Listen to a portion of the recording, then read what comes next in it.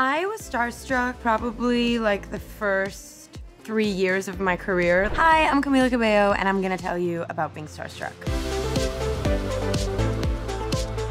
I grew up as like a hardcore fangirl. Like I started off being a hardcore like One Direction fangirl, big Taylor Swift fan, big like Justin Bieber fan.